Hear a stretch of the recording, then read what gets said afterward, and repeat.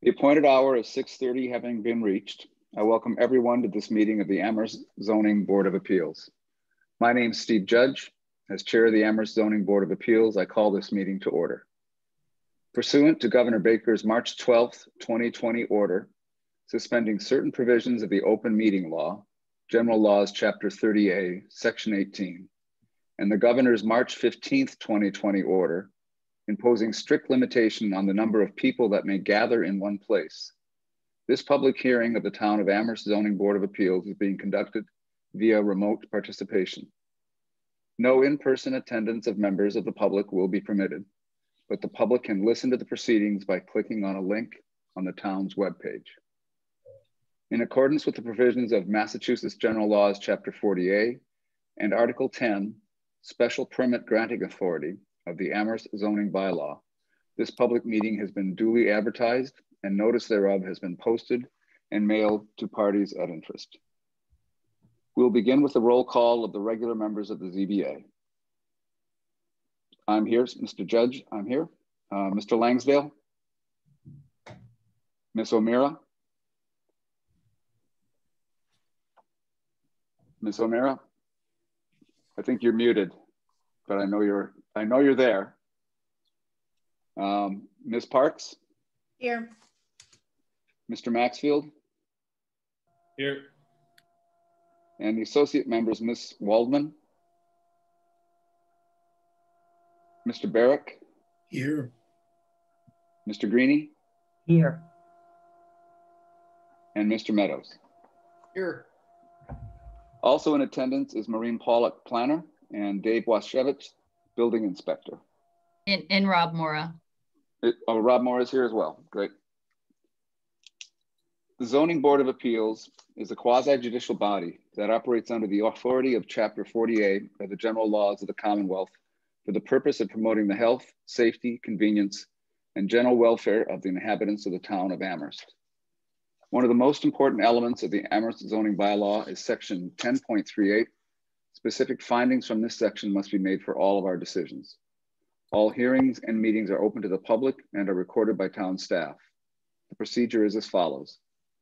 The petitioner presents the application to the board during the hearing, after which the board will ask questions for clarification or, or additional information.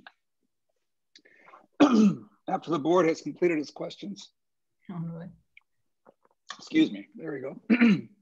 I had a peanut before I started um, the, call. After the board has completed its questions, the board will seek public input. This public speaks with the permission of the chair. if a member of the public wishes to speak, they should so indicate by using the raise hand function on their screen. The chair, with the assistance of the staff, will call upon people wishing to speak. When you are recognized, please uh, state your name and address to the board for the record. All questions and comments must be addressed to the board. the board will normally hold public hearings where information about the project and input from the public is gathered followed by public meetings for each. The public meeting portion is when the board deliberates and is generally not an opportunity for public comment. If the board feels it has enough information and time, it will decide upon the applications tonight. Each petition is heard by the board is distinct and is evaluated on its own merits, and the board is not ruled by precedent. Statutorily, for a special permit, the board has 90 days from the close of its hearing to file a decision. For a variance, the board has 100 days from the date of the filing to file its decision. No decision is final until the written decision is signed by the sitting board members and is filed with the town's clerk's office.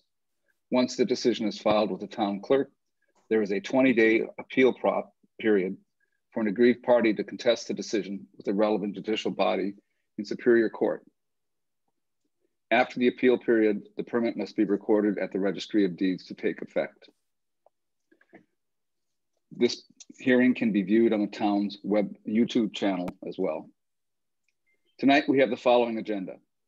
A public hearing on ZBA 2021-06, backyard ADUs, requests a special permit to allow a supplemental detached dwelling unit as accessory to a one family detached dwelling under sections 5.0111 and 10.38 of the zoning bylaw located at 34 Baker Street, map 13D, parcel 46, neighborhood residence RN zoning district. This is continued from November 12th, our hearing on December, November 12th, 2020. Members sitting for this are Steve Judge, Ms. Parks, Mr. Maxfield, Ms. O'Meara, and Mr. Greeny. ZBA FY 2021-10, Lawrence Hanson requests a special permit to modify the previously approved special permit ZBA FY 20 or 2004-41 in order to remove condition nine that requires a permit to expire upon chain of ownership and replace it with a condition that requires a new owner to submit a new management plan and complaint response for the ZBA review and approval at a public meeting located at 338 Pine Street, map 5B, parcel 55, neighborhood residence RN zoning district. Members sitting for this matter are Mr. Judge, Ms. Parks, Mr. Maxfield, Ms. O'Meara, and Mr. Greeny. First order of business is ZBA FY 2021-06, backyard ADUs located at 34 Baker Street. We have received a request from the applicant to continue the hearing on this matter until February. I'm unaware that the applicant wishes to speak to the board on this. Uh, correct. I uh, spoke to the um, the applicant and uh, he submitted an email requesting the continuance to a date and time certain in February. And I said that I could, in addition, convey that to the board. So, uh, and I said that his attendance was optional for tonight. Um, are there any questions or comments from the board on the request to continue this matter?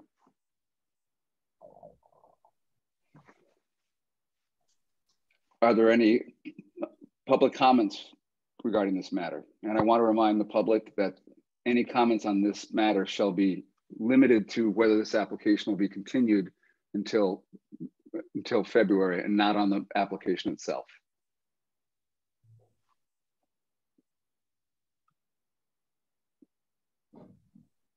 No indication of public comment. Um, hearing no further comments, I move we continue this matter until February 11th. Is there a second? Second. Ms. Park seconds. Is there any discussion on the motion to continue this till February 11th? If not, um, a vote occurs on the, the motion. It's a roll call vote. I vote aye. Ms. O'Meara? Aye. Ms. Parks? Aye. Mr. Maxfield? Aye. Mr. Greeny? Aye. Motion carries unanimously. This will, uh, we'll deal with this matter on our February 11th meeting. The next matter on the agenda is ZBA FY 2021. Lawrence Hass Hanson requesting a special permit to modify a previously approved special permit, ZBA FY 2004-41, in order to remove a condition, number nine, that requires the permit to expire upon chain of ownership and replace it with a condition that requires a new owner to submit a new management plan and a complaint response form for the ZBA review and approval at a public meeting. It's located at 338 Pine Street, map 5B, parcel 55, neighborhood residence RN zoning district. We've received the following submissions, a modified management plan and a copy of special permit ZBA FY 2004-00041. Are there any disclosures from board members regarding this matter?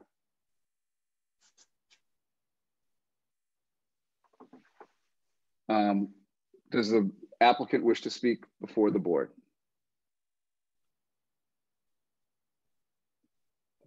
Uh, Larry, I've promoted you to uh, panelist, so you, are able to um, unmute yourself.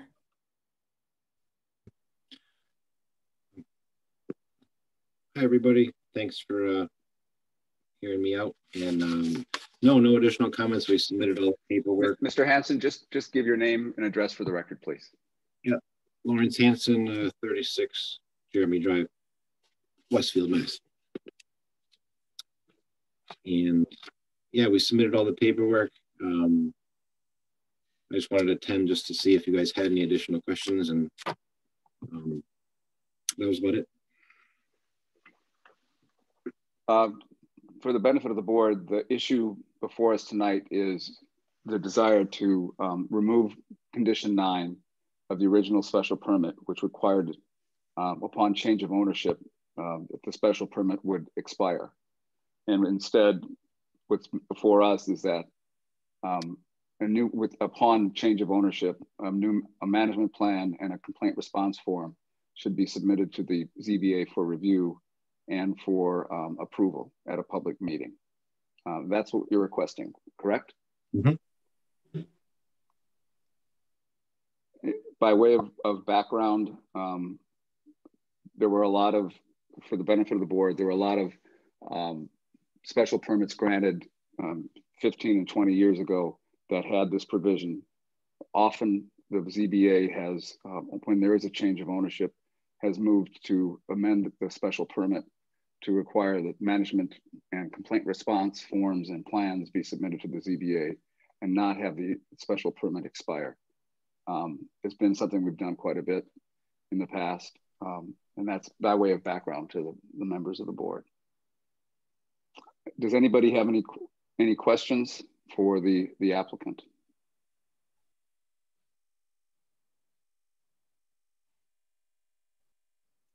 Hearing none, are there any public comments regarding this?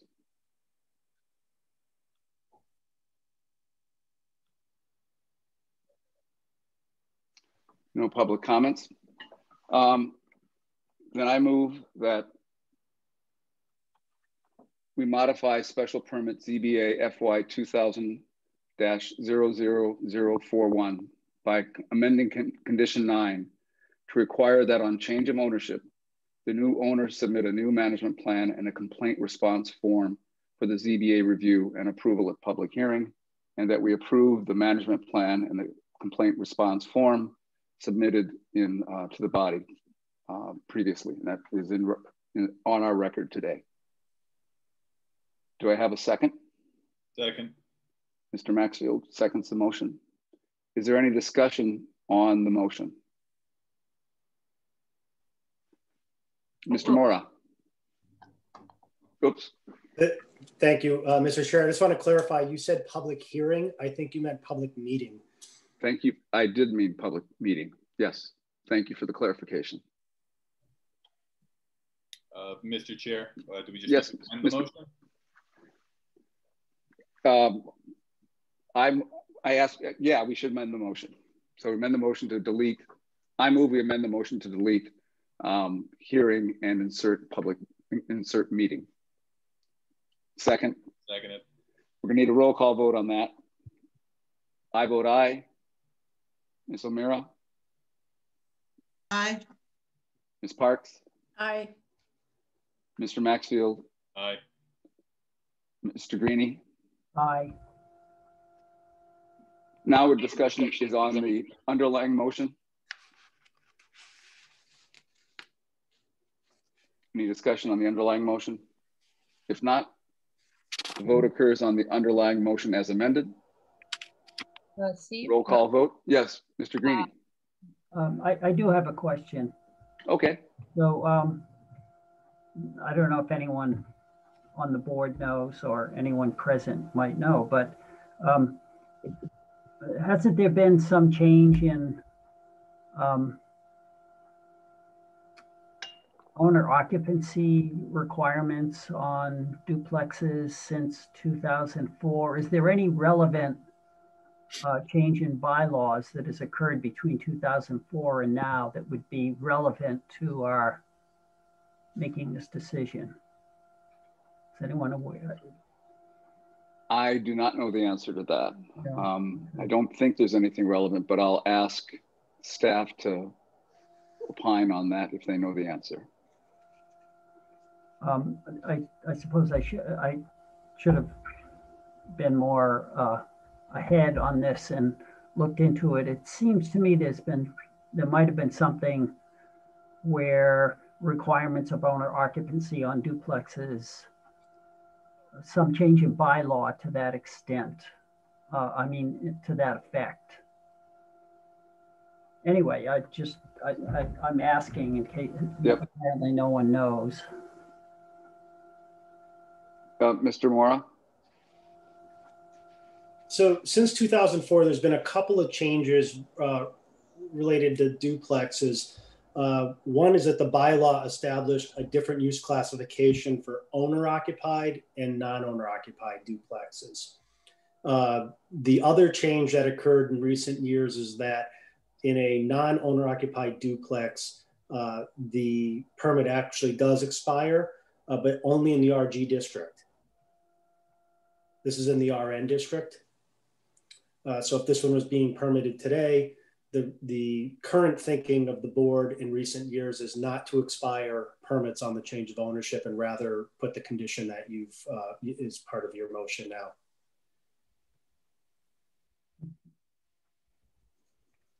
Does that give you the answer, Mr. Greeny? Um, to some extent. Uh, anyway, yeah.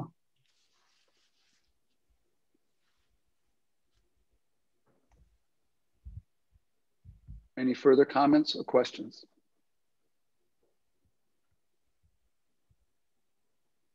There being none, this is a roll call vote and it's on the motion to um, amend condition nine and to uh, condition uh, accept the management and the complaint response form.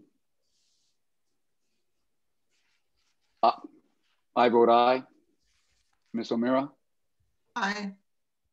Ms. Parks, Aye. Mr. Maxfield, Aye. Mr. Greeny. Aye. Motion is unanimous. Motion carries. Thanks, Larry. So uh, Larry will provide you a, a special permit uh, after the board reviews the decision and signs it um, and is filed with the town clerk. Um, we'll provide you a copy um, so then you can record it with the registry of deeds. Um, Okay. But uh, the cover letter will, will go, go into detail of, of all the steps that are needed. Okay. Great. Thank you. Since there is no other matters before the public hearing, I move we close the public hearing and open a public meeting uh, to deal with administrative matters and for the board discussion. Um, do I have a second? Second. Is there any discussion on the motion? If not, the vote occurs on the motion. It's a roll call vote. I vote aye. Ms. O'Meara, Aye. Ms. Parks, Aye. Mr. Maxfield, Aye. Mr. Greeny. Aye. All right. Um, we're now in a public meeting to uh, the, the agenda for which is to discuss some administrative matters for the board. Um, I thought this was really a good thing to do just to kind of follow up with board members on um, you know some things that we I think we should be thinking about and give you an opportunity to ask questions or to make suggestions. Is I don't I really on balance I think this board has functioned really well and I think the members have spent a lot of time, given a lot of effort. It's really been difficult over the last nine months to conduct these meetings and to participate in these meetings via Zoom. It's just very odd and weird, and we're all getting used to it. But I think that the board as a whole has done just a tremendous job. And I thank each one of you and compliment each one of you for the work you've done, as well as the support we've gotten from our staff, which is we just frankly couldn't do it without them. So there's nothing that I, there's nothing earth shaking here that I, I think we need to talk about. But I do think it's important just as a reminder to go through a few things um, for how we operate as a board and also give you the chance to ask some questions and, to, and also finally give you some information that we've had and provide some opportunities for you to have input into the uh, potential modification of the zoning bylaws in the future of the, uh, the town. So the first item I'd like to go over is just a little bit about site visits. Um, and site visits are something that we do, you know, at, that you've all participated in. And it's really important that the site visit be limited to just getting a feel for the where the, the building on the ground where it sits, how it sits with the neighbors, the proposed space, the lot lines.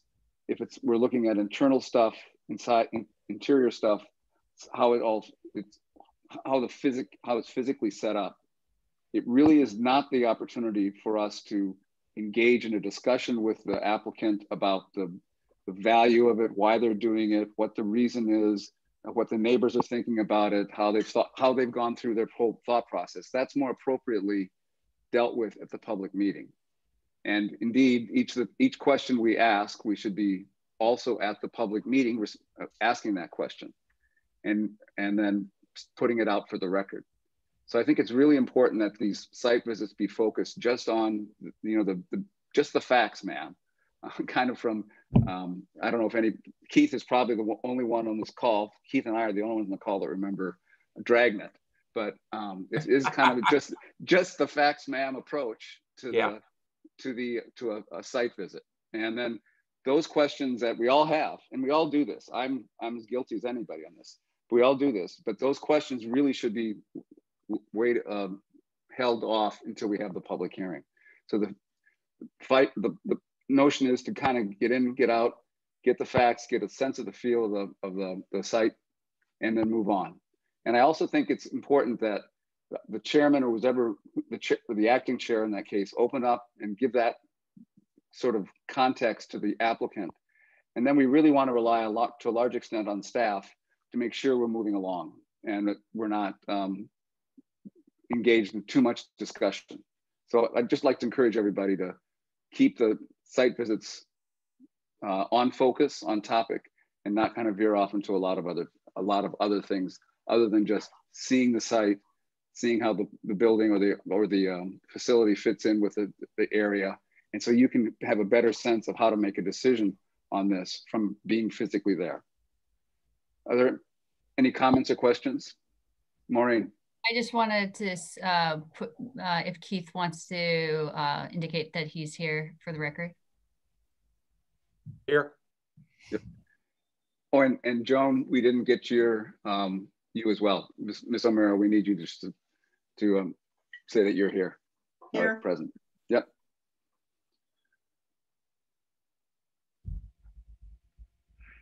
And another thing that I wanted to then discuss is is board decorum. Um, and again, this is made more difficult and or it's it's it's weirder in on Zoom.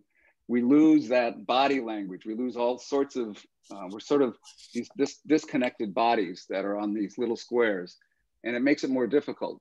And I think we've conducted these meetings pretty well, um, and I think everybody has uh, behaved really excellently. But I think it's a time just to remind us all of a couple things. I had this at one of these meetings that I know you've been going to, Dylan, uh, Mr. Maxfield, uh, from the, the sponsor to kind of help us um, become better board members, I received a, a um, an article that really kind of goes through how to be a really good board member and some of the things you should keep in mind. And I'm going to give that to Maureen and ask her to distribute it.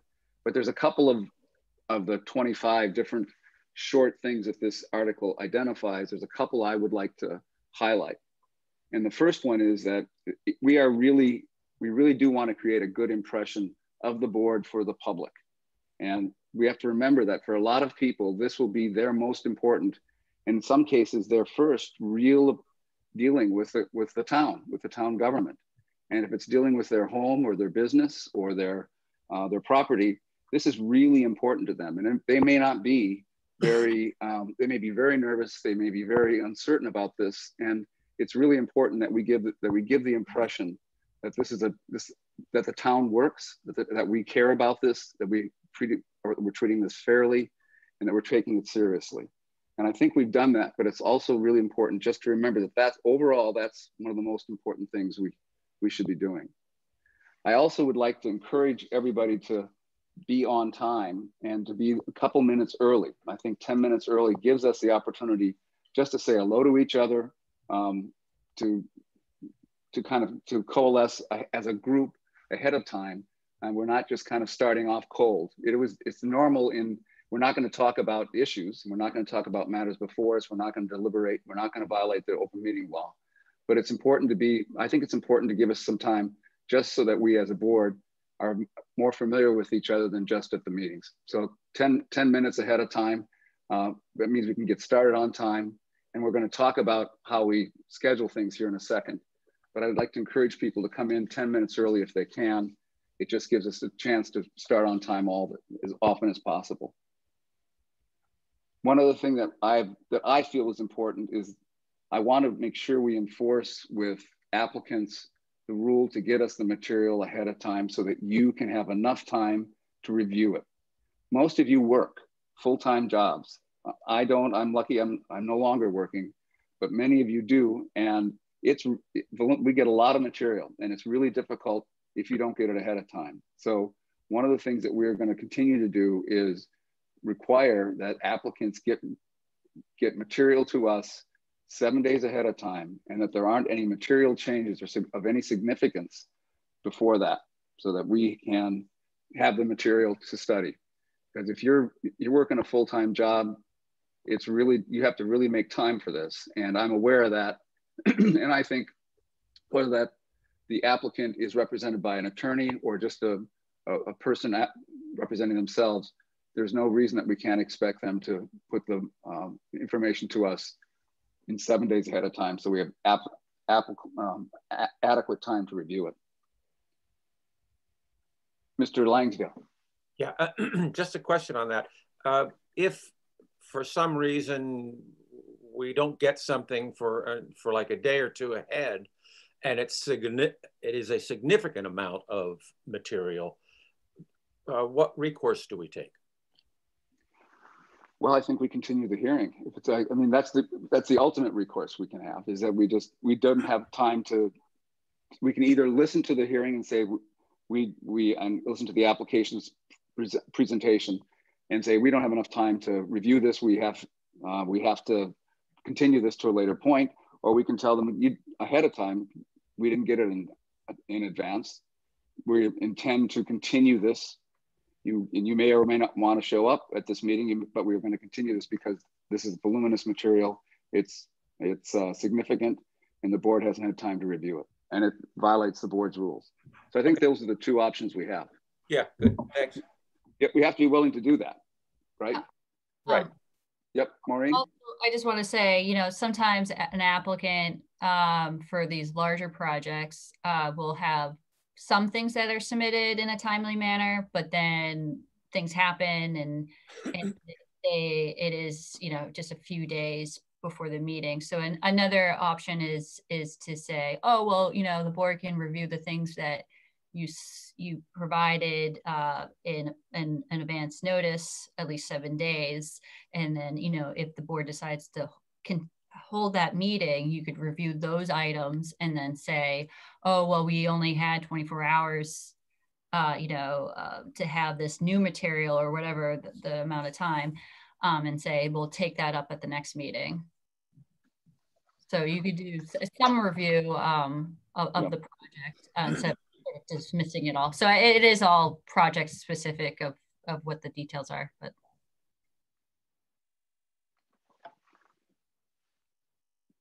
Good.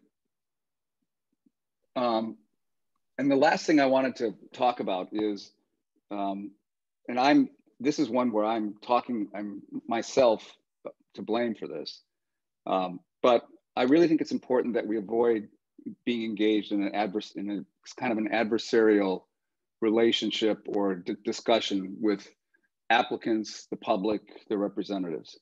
Um, we really are we're more a semi-judicial body than we are like a legislative body. And i have a i've seen too many congressional hearings and not enough sort of judicial hearings that i kind of fall into the trap of back and forth with um, with a, an applicant at times. I, I, I remember one case where i've done that and i regret that and i think it's really important that we give everybody the opportunity to speak uh, we don't take it personally, and we don't take, um, you know, sort of defend the the uh, the nature of the body or or the, the, the ZBA.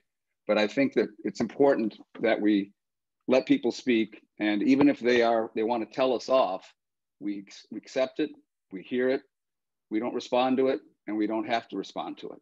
That we're more, we ought to think of ourselves as more a semi-judicial body rather than a legislative body where you have a kind of a back and forth in terms of um, tone, not in terms of information, but in terms of tone. And so I think that's something I, I found myself doing uh, recently. I don't wish to do it anymore. And I think we all should abide by that um, admonition if we could. Um, but those are the, I will, but you're gonna receive this, it's called Riggins Rules. Um, I think it's pretty good. It provides some, some context for this, but those, those are things that I think I'd like to have us work upon over the next year um, as we continue in the, in this body. And I hope that uh, you'll get a chance to see this. Maureen will, sh will share it with you. But I'd certainly open, if you other people have questions about either decorum, deportment, the way the, the meeting is handled or conducted, this is a good time to bring that up.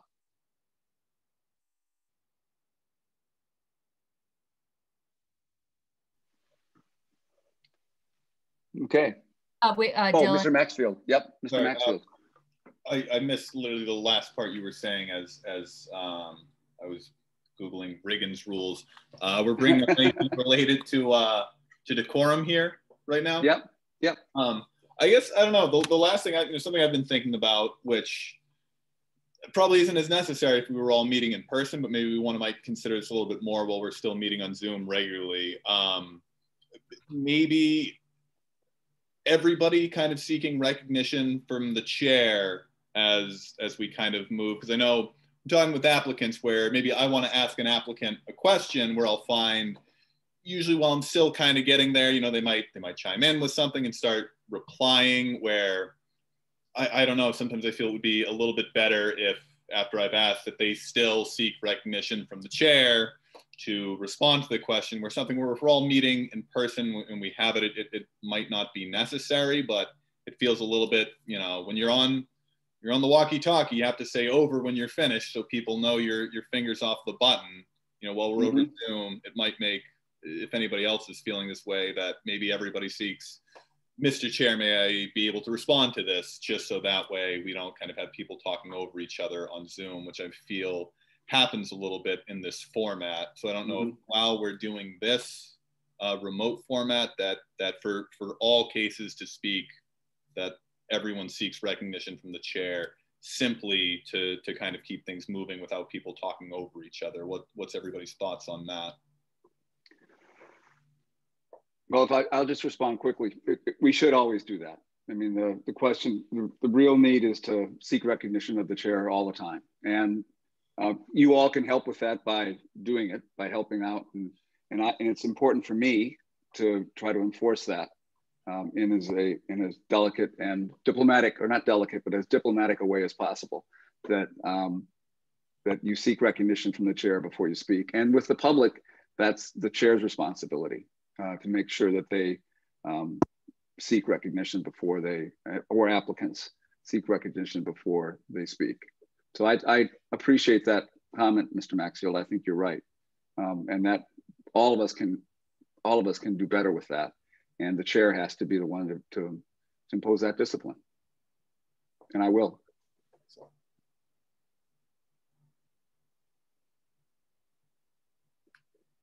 Any other comments or questions or suggestions for sort of decorum and deportment of the board? Any concerns that you guys have?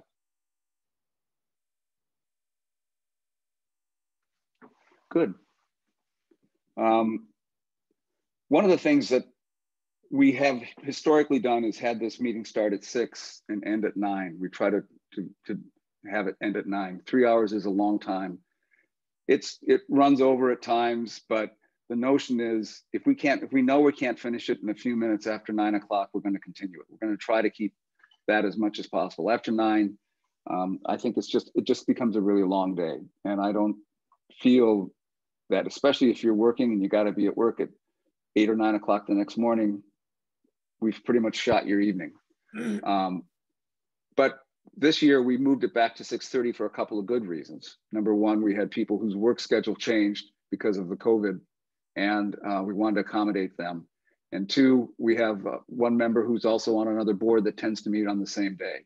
And I'm wondering if if we, I'd, I'd like to know about the board's consensus if we can move back to six o'clock as much as possible, um, as often as possible, and have a and full three hours.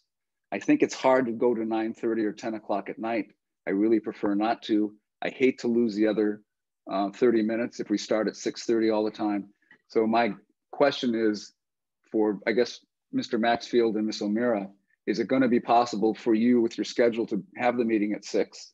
And is it possible for you, Mr. Maxfield, um, to work with your other committee to either meet on another day or per perhaps end earlier? I know you get off of work at five and then you have to go to one meeting and then you come to the other. So I'm sensitive to that, but I don't know if there's a way that you can work with your other committee to try to um, provide that flexibility and, and Ms. Ms. O'Meara, whether your schedule still allows you to, to work at, to come to six o'clock meetings. So Mr. Maxfield first and then Ms. O'Meara. Yeah. So what I've um, been trying to do with my other meeting is because we typically meet bi-monthly, so I try to now stagger it where one week is the Board of Licensing Commissioners, and the next week will be the Zoning Board of Appeals. Um, I know with the holidays, I no, I don't think there's any overlap. Um, I have to double check my schedule on that, but I know going forward from January, this is a discussion I'm going to be having with them as well of saying Thursday nights are fine, but it has to be they can't coincide with each other. So that way it would be uh, I could do ZBA at six, and then uh, Board of Licenses at five on the nights that that isn't. Um, but I will coordinate um, once we get our next schedule going forward from January, coordinating to make sure that there is no overlap with ZBA. And then anywhere where there might be an overlap, say I can come to that meeting, but that's got to be a half hour in and out. We're just approving licenses and moving on. We can have our discussions another night. So going back to six uh, shouldn't be an issue uh, for me, just so long as we know uh, in advance which which nights that we're meeting, which it looks like we have our, our schedule set.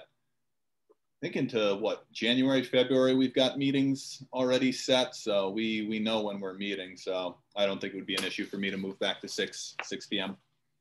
Okay. Miss O'Meara, I saw your hand up. Thank you, Steve. Yeah, 6 6 p.m. works for me. Thank you. Great. Great. Good enough. So I think we can probably work that through. Let's try to have six o'clock meetings. And is there anybody else that has an opinion on this or a, or a conflict? Mr. Langsdale. I don't have a conflict, and I, I think six o'clock is is best.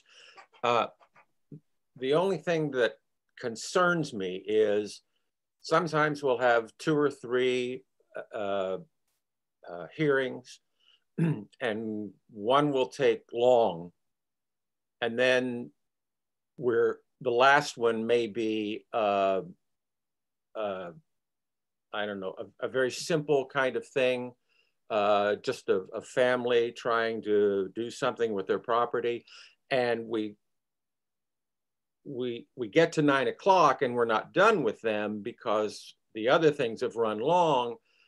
That if we, I, I'm just concerned that we allow them more time in that evening to go to 9.30 or so, just so we don't have to continue something that may end up going three or four weeks further down the road that's really not that uh, convoluted, that it's really kind of simple, that, that, that, that, we can have the flexibility, that's what I'm getting to, thank yeah. you, uh, the flexibility to deal with that uh, without going, you know, nine o'clock, we're out of here.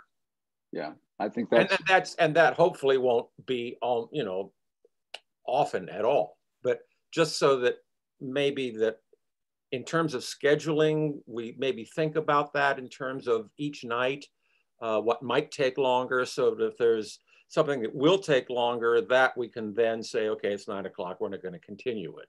Uh, but we're not then hurting the the smaller uh, application. I'll say it that way. Yeah, I think that's something we should be sensitive to. There's one way to do it is to put some of the quick that we think are quick early on the agenda. If that's we get that done early uh, yeah. in the meeting at six right away. It all depends. Some of these meetings are um, we have to go back and forth. But we'd have to we have both hearings and meetings. So, um, but I think the most important thing is to have some flexibility to try to deal with the simple things if we can, yeah. and have some flexibility in time. I think it's a good suggestion. Good. All right. Any other comments? Those are both good. Any questions? I have a quick question. Um, yes, Ms. there- Parks. Is it ever possible to change the order of how things are heard? I guess uh, from what Keith was saying, you know, if you know something's going to take, you know, is something really simple that is not going to take very much time. I mean, I know there's no guarantee on that, um, but are you allowed to do that, or is that something you're not allowed to do? I, well, the agenda can be, I'm going to ask Maureen on to opine on this as well, but the agenda can be set ahead of, should be set ahead of time. And what I, I worry that once the agenda is set and public notice is out, we have to follow the agenda unless we make a mo some kind of a motion to move them. But, you know, Maureen, Rob, Dave, can you talk to us about a flexibility we have on the, on the agenda? Yes, Mr. Morra? Uh, when we're not setting times, which we usually do not, so we don't have a hearing at six, six thirty, seven. I think there's some flexibility, and it's not uncommon for the chair to recognize that uh, you know something could be disposed of quickly, and and might choose to do that and move it up in the schedule. So I think the chair has that option, uh, even at at the opening of the hearing. But I have one other suggestion. This is something the board used to do quite often. Maybe Keith remembers it if he was uh, around during this time. Is that when the when the chair sees that you know maybe they've had a really long one or two hearings, 815, 820, uh, and is not through that that hearing and still has another one to open up. Uh, the board might decide to close the public hearing and kind of put that one aside until later and not uh, complete their deliberation and their finding or their conditions and vote on it and go through the 10.38 findings and open that public hearing for that, you know, that last group that's waiting to be heard. And if the board has time, come back to it, to that public uh, meeting portion of that earlier case, finish it out uh, or continue it uh, if it's too late. Mm -hmm. And it's a way to get everybody heard, all the, all the uh, presentation done, and uh, all the applicants, you know, a reasonable time to be given to, to, to make their case and um, have the board react and, and kind of give them an indication of how things are looking uh, in that in that first initial setting. It's good to know we have that flexibility. Yeah, exactly. Yep. Good question, Ms. Parks. Anything else? All right. Um, the next item on the agenda is discussions about recommendations to the planning board regarding modification of the zoning bylaws. As I think most of you know, um, the planning board is been been tasked with um, reviewing the zoning bylaws and making, I think, recommendations to the town council. Um, and this is a process that's going to take a little bit of a little bit of time. It's not going to be done quickly, um, but it is an opportunity for us, with the experience we have with the zoning with the zoning bylaw, um, to provide input to the planning board on changes that we think are important, and we'd like things that we'd like to see. And so, what I wanted to do is first, either Rob or Maureen or Dave, let us know about. Tell us, can you kind of set the schedule? And then secondly, just really tell you, tell you that this is something that over the next couple of months, I think we'll be able to look at. And if we have, have suggestions for the planning board, uh, that we should put them either as a letter, as a, as a motion, or just empower the chairman to go and, and talk to the, the zoning board chairman and discuss these changes, but some way communicate them at some point in the future. But really uh, over the next couple of months, take a look at the take a look at the zoning bylaws and and through your your your history with them, your work with the committee, um, make any suggestions that you think we can just consider as a board. We can consider suggestions and make those suggestions to the planning board. But Rob, could you um, talk about the uh, the process that's being used to review and then potentially modify the zoning bylaws? Um, so I just let uh, let you know a little bit of what's what's going on right now. Um, we are at the very beginning of really looking at uh, the bylaw page by page. Uh, the the tasks are broken up. Uh, that staff is doing some of that work. Uh, and the CRC is doing some of that work, and the planning board is uh, doing work as well as they always do. Uh, the the bigger discussions of bylaw changes are beginning to occur at the CRC, the Community Resources Committee. Uh, that's the the committee to the town council. Uh, in their in their latest meeting, the town council meeting, uh, the CRC brought to them a recommendation on priorities to address in the zoning bylaw and like I said, they're really focused on some of the bigger items, the downtown zoning, inclusionary zoning, affordable housing. Uh, and there's a really long list of things that are being worked on. And staff uh, will be working on uh, more of those technical fixes, corrections, missing definitions, um, incorrect references in the bylaw, and reformatting. So we're trying to give it a, a, a cleaner, fresh look, easier to read, uh, easier to follow, uh, straighten out some of the tables, uh, take all this criteria out of the table format and put it into more of the, the narrative uh, format uh, and, make the table a little cleaner and easier to read. Uh, so at the very beginning of this, so it's a great time for the zoning board to you know, either individual members or at administrative meetings to uh, work on any suggestions they have, get them to staff. Uh, it may not necessarily be uh, the the old process that we knew when we were, uh, you know, a town meeting uh, uh, form of government where the zoning subcommittee and zoning board would talk about all these changes. staff will be bringing them to the CRC. We'll be drafting uh, proposals and presenting them there first, and then ultimately going to planning board public hearings and town council public hearings uh, for adoption. Uh, so I think you're going to start to see this happen um, more aggressively as we go into the new year.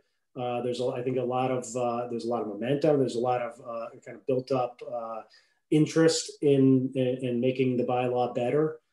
so I think it's a good time to get involved uh, and just let us know through Maureen or you know anybody uh, uh, you know what you're thinking and what we can do to help and get that that information. And certainly join those meetings. You know they're gonna their CRC meetings are held generally uh, early afternoon uh, twice a month. And, and, then, of course, the, the discussions will ultimately happen at evening meetings with the planning board and zoning board, uh, town council as we go into the new year.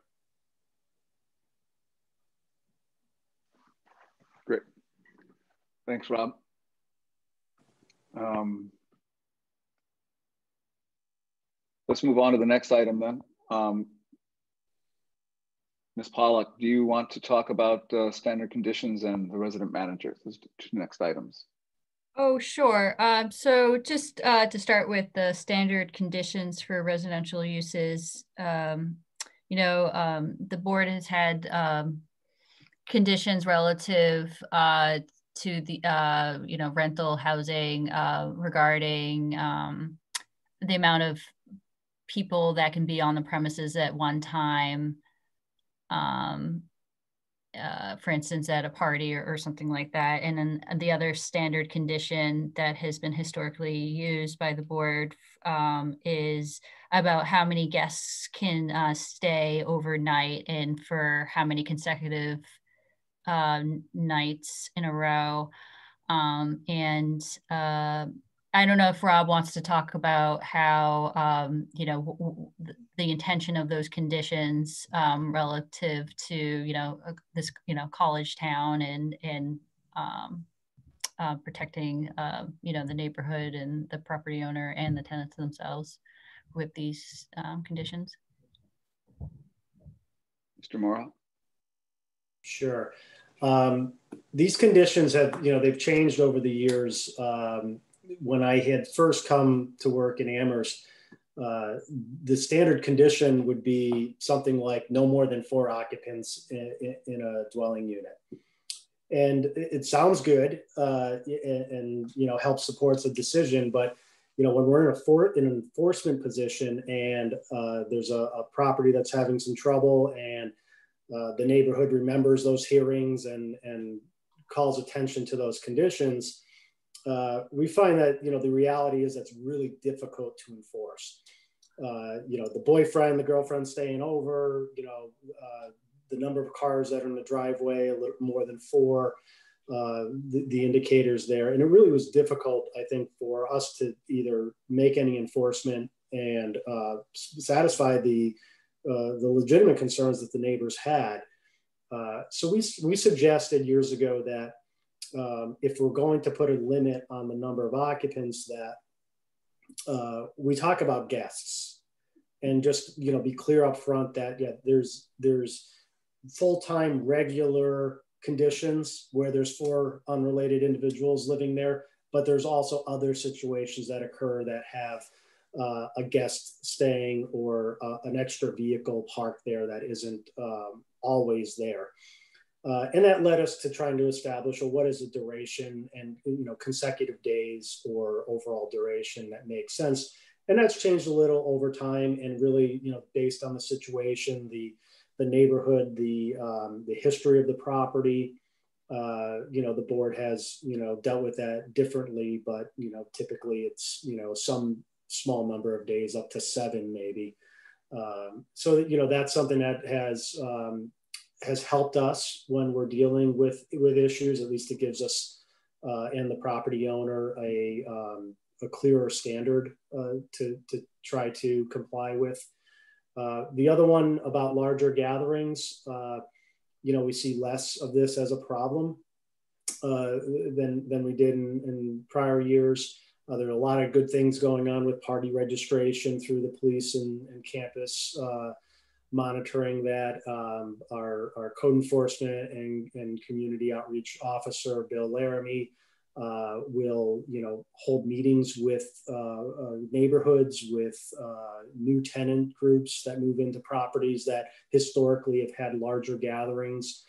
Uh, so you know it's it's pretty typical that we see in leases without even you know the board's involvement in a property uh, there be a limit on, on the number of uh, guests that can be there at a gathering at one time.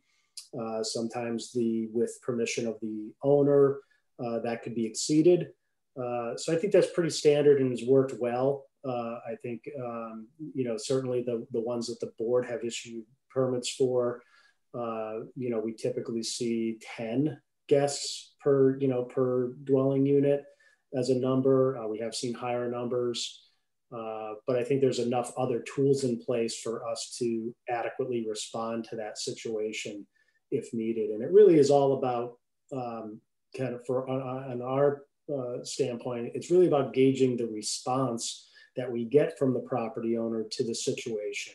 It isn't so much that the party or gathering occurred or uh, you know the guests stayed over for five nights. It really is about what is you know what is the property owner doing to um, maybe more hands-on or more uh, adequately manage the property if it needs to be managed uh, in, a, in a more um, controlling way. And that's really what we look to try to uh, get out of the property owners or managers. Many, many times this is in response to concerns from neighbors who, um, right, a lot of times this is a condition that's been in response to neighbors um, having worried about large parties or having instead of four people living there really eight people are living there. And, and you really want to control that because it's both the neighbors and the town has a desire not to have overcrowded um, rental housing especially in a college town is that is that the motive is that the uh, the reason these kind of conditions began rob I, I, think it is part of it. Uh, you know, certainly whenever a neighborhood or, or public is involved with a, uh, a case, um, it, it almost puts the board in a position to have to address this in order to adequately support their findings uh, and to make mm-hmm. their determination that it is not more detrimental to the neighborhood to add this additional dwelling unit or expand it or whatever the, the request may be. So it becomes a good tool for that.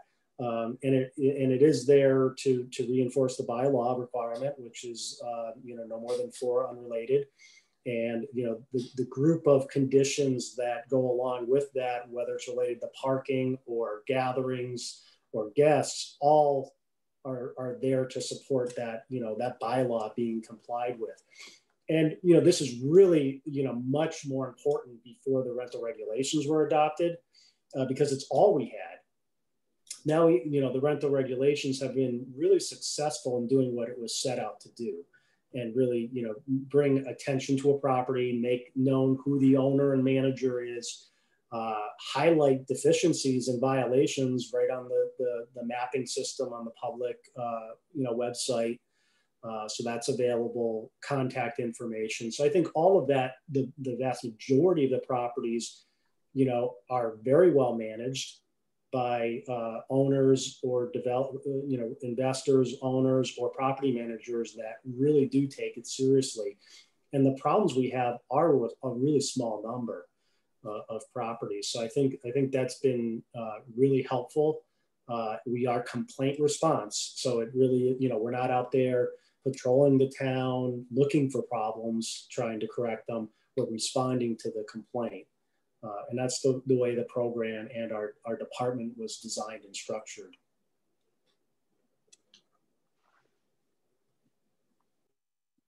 Can I ask a question about that? Yes. Yes. Is there, is there an easy place to find the information to uh, to contact the town about problem properties? Because I, I, you know, in the past, I had had a problem with a rental property with too many cars parked and having our driveway blocked. And the only thing I knew to do was, you know, it happened to be run by Eagle Crest. And so, you know, I had their number on speed dial and was constantly calling them. Um, but I didn't know that there were, that I could have gone to the town and said, you know, this, these are in, these guys are in violation. Is, is that like published somewhere so that you know, citizens know that? Uh, yes, it is. Uh, so on, on the website, uh, through the rental, uh, residential rental permitting pages, uh, there's a couple options. You can get right to email contacts for me, uh, John Thompson, the code enforcement officer, any other inspector in the department, but there's also an online complaint system. So you can file your complaint online. You can upload pictures. Uh, you can make it anonymous. Uh, you can ask for a response, uh, and and the person making the complaint will get one.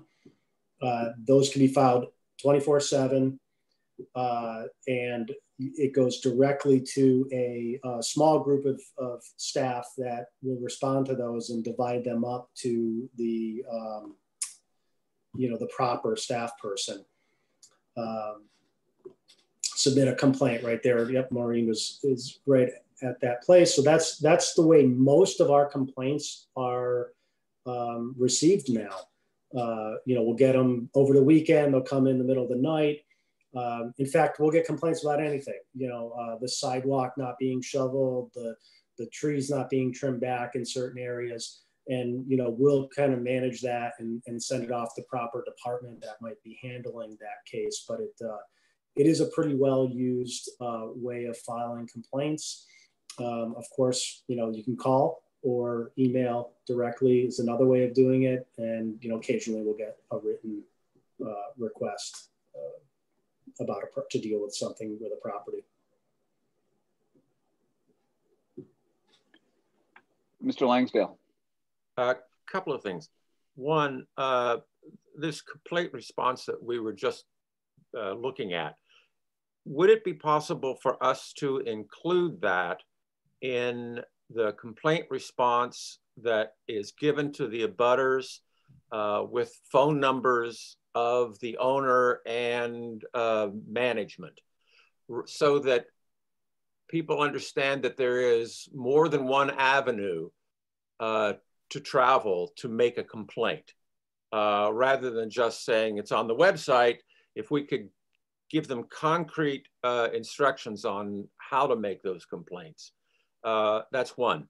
Um, uh, Mr. Morra, uh, one of the things that I know that that we have dealt with in the past is in with parking um, and not just not just for parties, but for like if suddenly there are eight people living in a place where only supposed to be four, suddenly there's like two or three cars parking on lawn.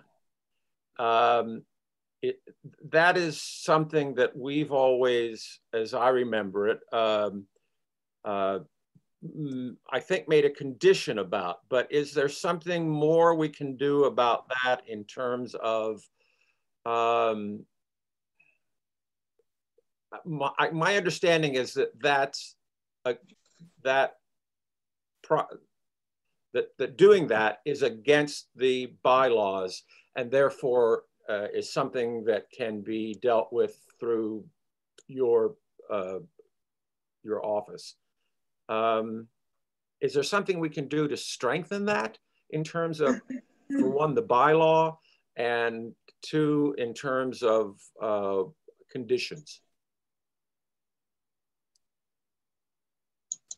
Uh, so I definitely, um, you know, favor conditions, even if they repeat what the bylaw does. Mm-hmm. Uh, you know, especially if we're in a in a situation where there's known to be a problem or um, a neighborhood that's really concerned about it. Uh, I think getting it as a condition of the special permit um, just draws additional attention to it. It's a document that's recorded against the property. I think that's a, a, a you know a wise decision.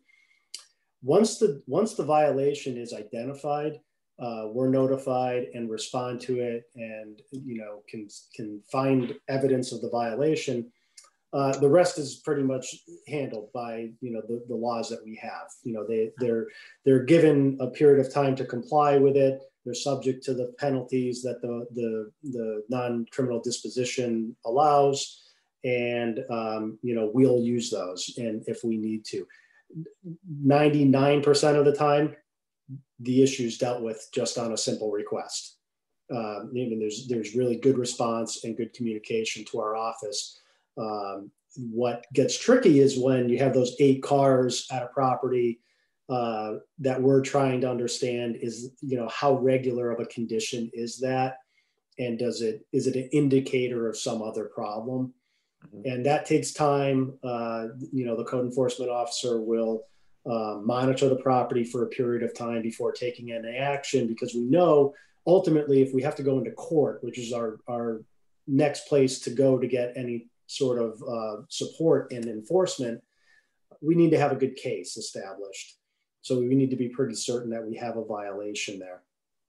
Uh, so we've got the tools. Um, we have, um, you know, staff uh, typically available uh, pretty rapidly for complaints that are made. Uh, and then, you know, depending on what the situation is, there are longer term uh, monitoring needed in order to establish that violation uh, which honestly most times do not result in finding any violation because it's just really difficult to. Okay. Uh, I'll just add the, um, the, the parking on the parking on the lawn is not permitted. Uh, it must be on paved surfaces, so that's one that we typically find in residential districts. And only two cars are permitted in the front uh, setback of those properties uh, those are the two major uh, parking related uh, violations that we would find in a residential district. Thank you. I guess one, one question I have, and I don't know the answer to this, is, is, is there an annual notification from a, a renter, from a rental unit to its neighbors that here's the, here's my number, here's the complaint response form, is there some way that the neighbors get an, uh, an annual notice or is it um, done just just through the special permit process and after that the, the neighbors have to go to the um, to the town website to try to um, lodge a complaint the the only notice would be by the renewal of the rental permit which you'd have to go into our website to view that to get the information of the emergency contact and their phone number. So other than that, unless we were to make that a condition of a special permit, um, mm-hmm. there wouldn't be any other requirement to notice annually to the neighbors. Okay.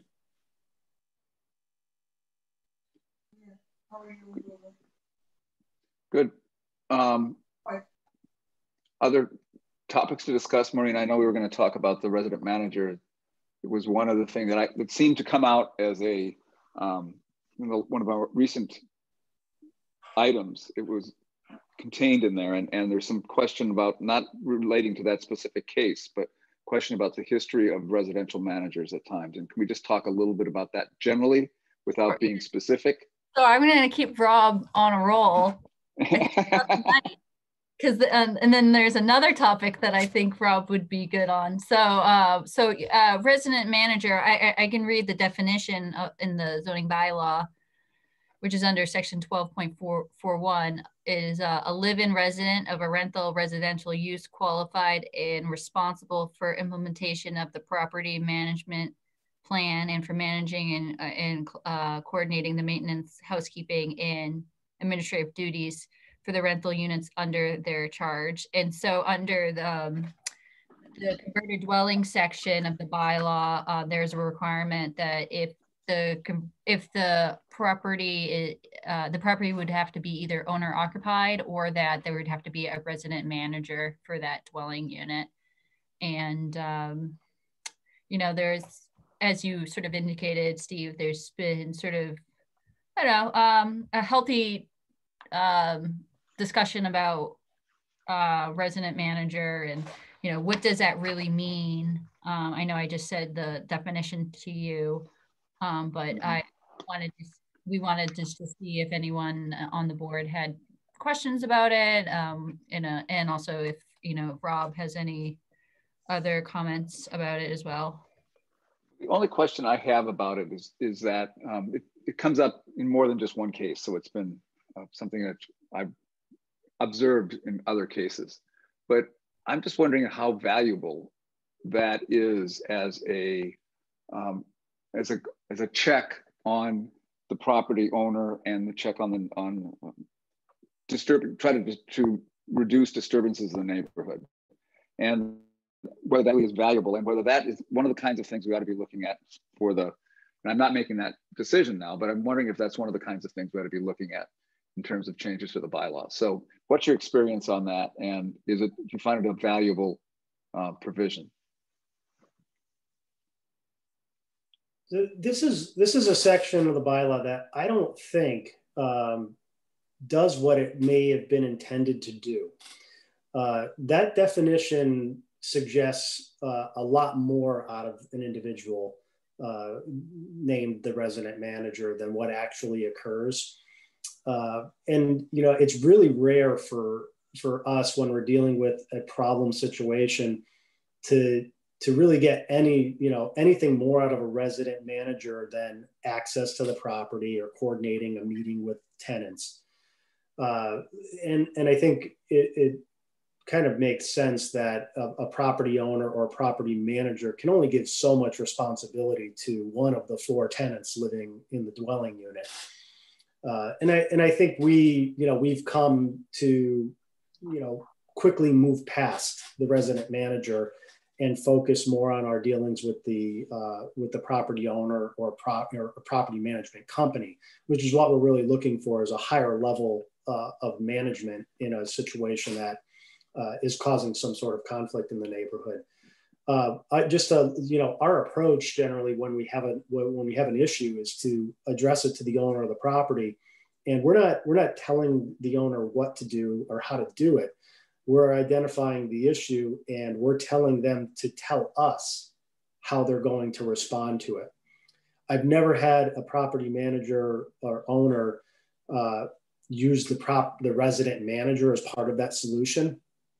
Uh, so even in the situations where they're required under in the converted dwelling section, uh, I, I, feel like the prop the resident manager uh, role is diminished really quickly, uh, and and almost you know is a, a, a point person for us to contact the group or make an arrangement for access to the property. So I you know I don't think it's um, you know all that valuable now. I think it may have had a, a, a larger uh, purpose or intent before the reg rental regulations were adopted. Um, and maybe we just never saw that develop. Uh, you, you, see that develop the way it was envisioned originally because the rental regulations kind of picked up and took things to a new level, which um, they general the, the regulations generally say if there's a violation, you need to correct that or show us how you're correcting and responding to the situation and you need to do that uh, uh, effectively. Uh, otherwise, you're at risk of losing your your right to to rent that property. So um, yeah, I, I, guess I don't I don't feel like this is um, we have to deal with it because it's a, a provision in the bylaw. Once we get that initial notice at the hearing of who a resident manager is or, or, or that there will be one, we generally do not get notice of the new resident manager as the tenancies change over time.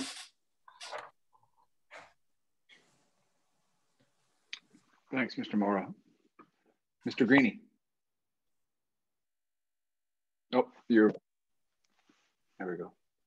So um, just a few comments. I've been on McClellan Street for 25 years and I, am not remembering exact. I, I, don't know when you came to town, Rob, but um, uh, things improved a great deal uh, after those uh, renter registration um, bylaws or whatever they are were established. And, and a lot of that came out of uh, a group of people in that area, especially on Fearing Street.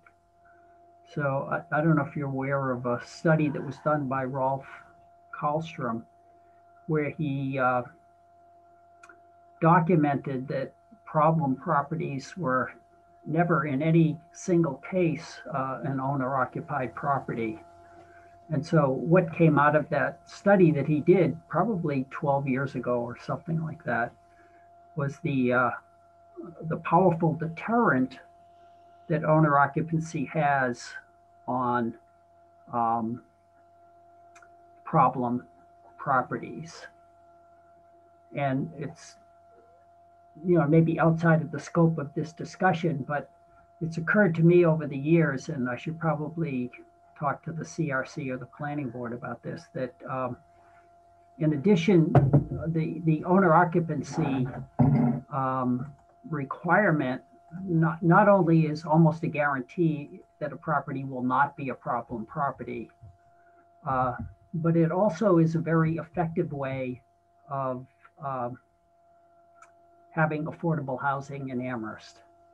It allows uh, owners to live in a property that they couldn't afford otherwise, where they're able to rent out additional units. And so I've always been a strong advocate for that um,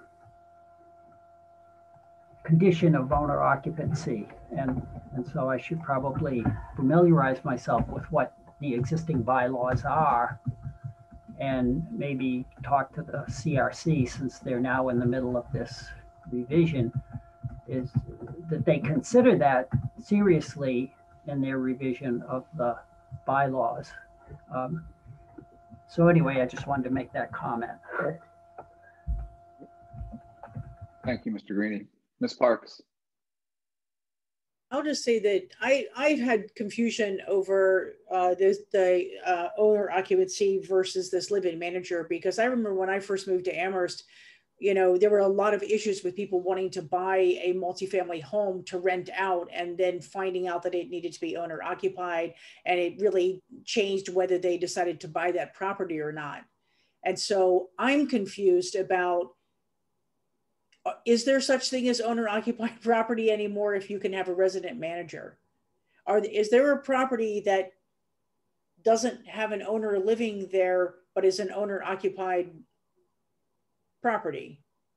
In other words, it feels to me like when I first moved here, if, if your property was owner occupied, if it was a multifamily home, an owner had to live there if you were renting out part of it.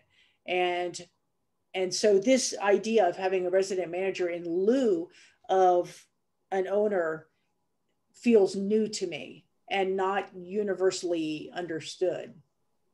Am I wrong in that?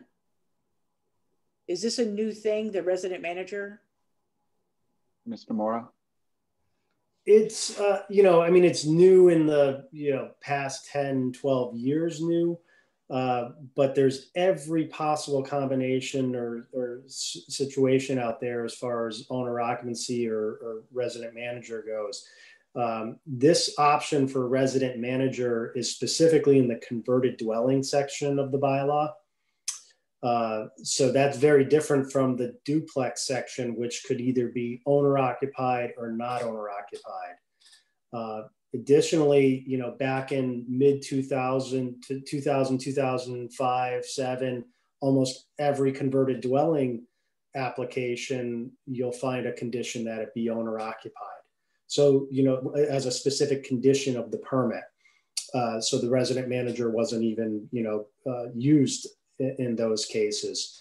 And you, are right, you know, a, a new owner looking at a property may not even become aware of this until the moments before a closing when it is found through the title examination and highlighted by the closing attorney as a condition of the special permit.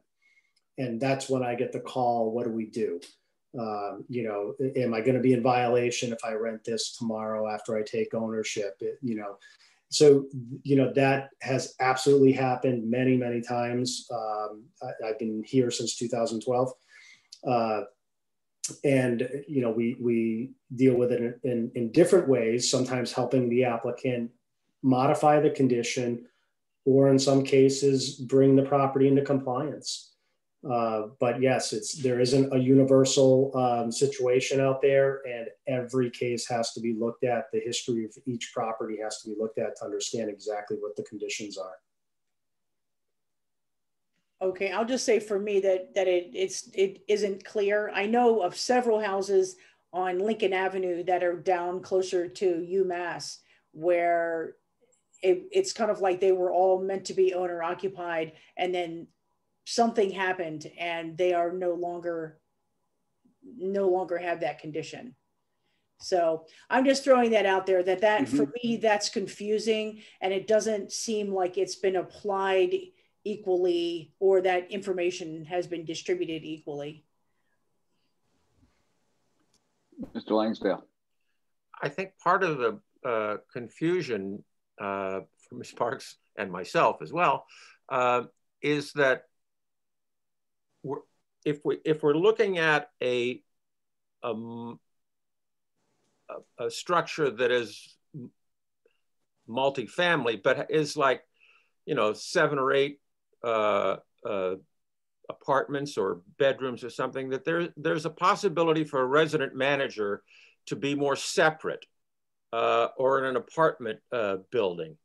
But in a uh, I know we, we have one that we're looking at now where the resident manager would end up being one of three or four people in one structure along with a second structure and that that puts the resident manager in a position of having to in quotes police the others and as mr morris said that that makes them maybe no more than a point person for uh, for contact uh, for the uh, the owner.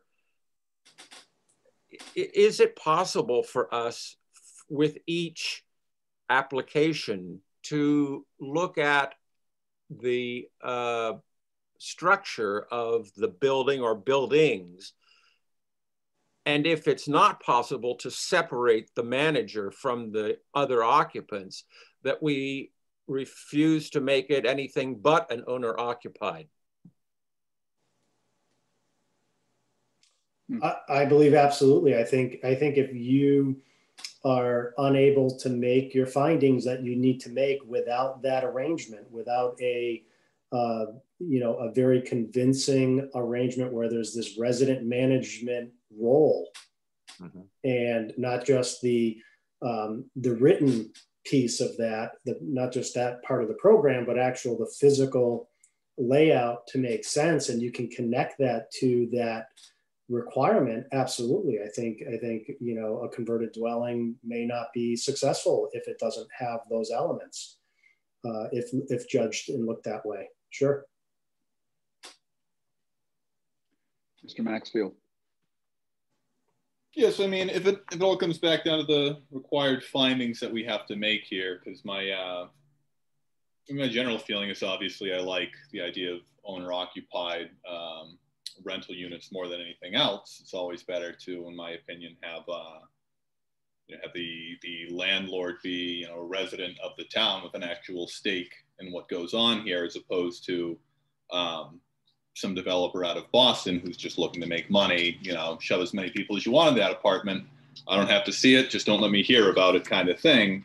Um, but if we're talking about you know, the need to make kind of special, you know, the specific findings required, because although I don't think we could put any sort of stipulation um, saying that, you know, well, maybe it's not owner occupied, but we would like the the owner to be somebody who's nearby in a way like we for you know a resident of Amherst who's the owner because then we know that they also have more of a stake in the community um, more of a motivation to maintain the the property outside of just the um, financial factor. But we couldn't say that they the owner must live in town. I think we might be able to do some type of thing with the specific findings saying that they have to be relatively local to be able to be responsive to complaints.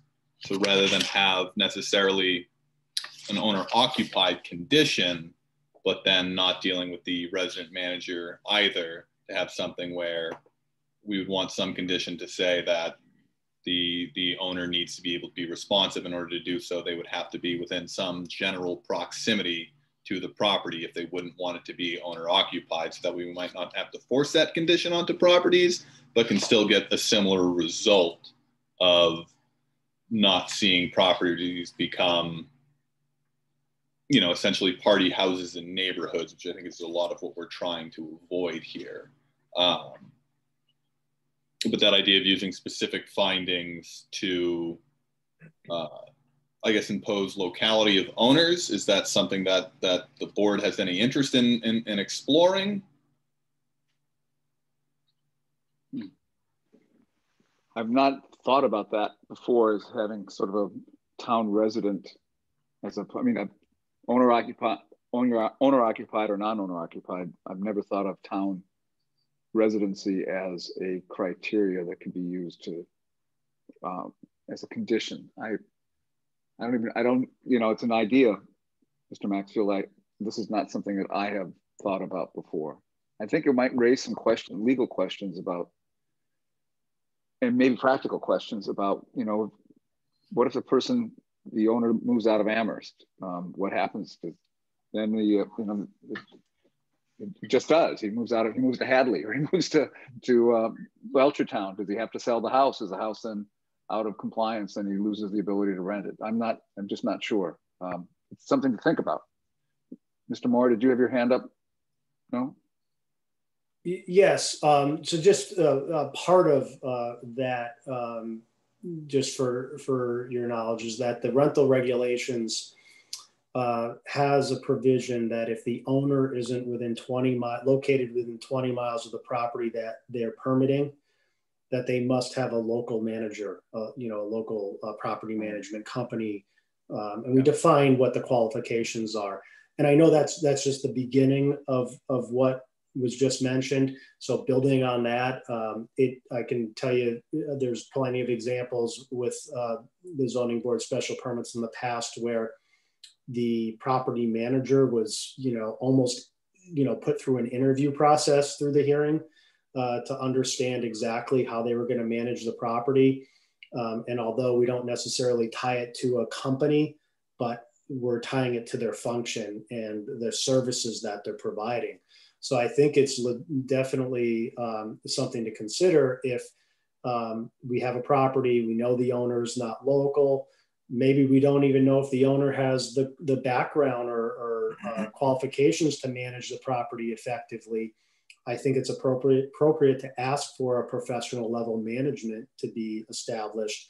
Perhaps it could be reviewed in time, you know, but, but certainly initially, that could be a, a, a very useful condition to ensure that a property uh, is managed. And looking at exactly what we find is, you know, property managers have all different levels of scope and services that they provide to these owners. So really looking at what are they going to do? How are they there to respond or, um, you know, try to proactively uh, uh, deal with issues that may occur uh, on that property. Mr. Greeny. So the, um, we know, I think it's, I think it's fair to say that we know that owner occupied properties are, uh, are not problem properties. Uh, the problem is that some people could easily see that as being too restrictive on a particular property. And so the, what, what Dylan's suggesting, and apparently we have some of that in what Rob just talked about, is a less restrictive, but a condition that would, you know, give us some assurity that the property would not become a problem property. So I, I- I'd just like to ask Rob, in your experience, um, uh, property man, properties that are under property management firms, are they generally um, well-behaved or not problem properties? Could you comment on that? What, Mr. Morra? what I yeah, what I can say with certainty is that the the the properties that are managed by a uh, property management company, the grounds, the outside appearance uh, of the property is very well kept, and if there is any situation that um, uh, kind of goes out of compliance, it's dealt with really quickly. So I think that you know that is definitely um, proven itself. Uh, what when it when it gets into things like the number of occupants, guests, um, late noise uh, coming from a property, what we learn is that the property management company may not be the person that's responsible for that situation and it falls back to the owner. And that's when you know we get into these discussions with the owners. We just had one recently on on phillip street where we needed to tell the owner that enough you know we've we every few months we're having the same situation over and over again. You need to have a property manager do more.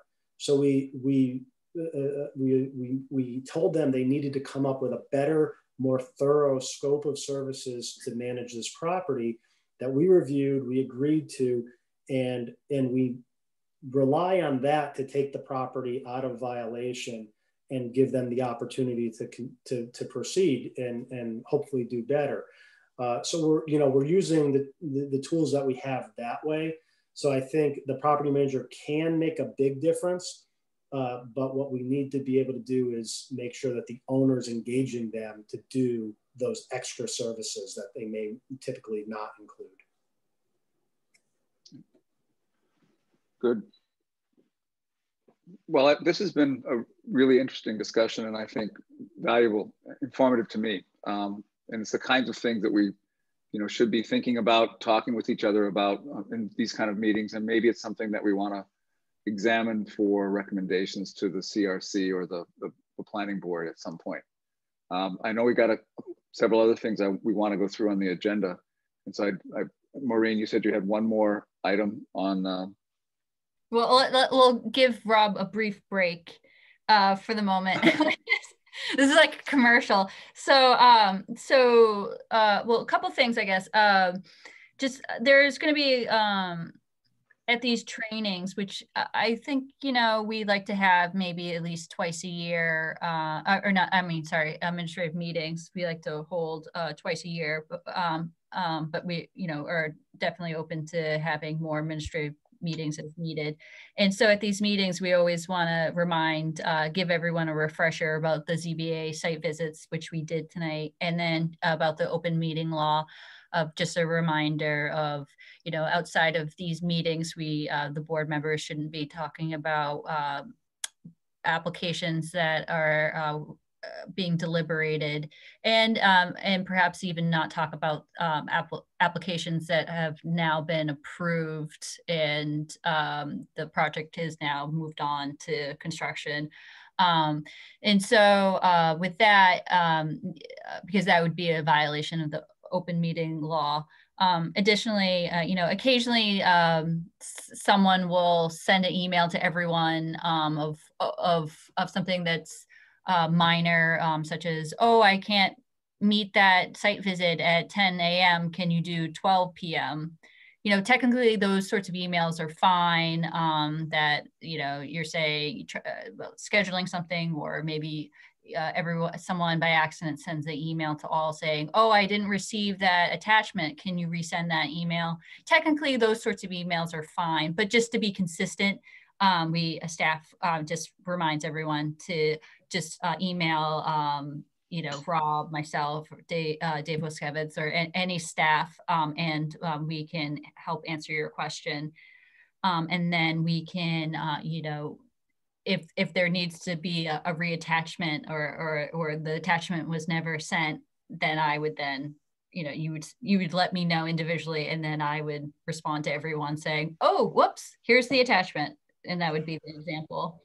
Um a couple and then maureen i can just say one thing. Yeah I, reply all is not our friend here with the when we're on the zba and even though sometimes it's technically permitted we're not in technical violation just don't take the chance. Just don't take the chance. Go through the staff for all for the communications, and it, um, that way we'll avoid inadvertently um, violating the open meeting law.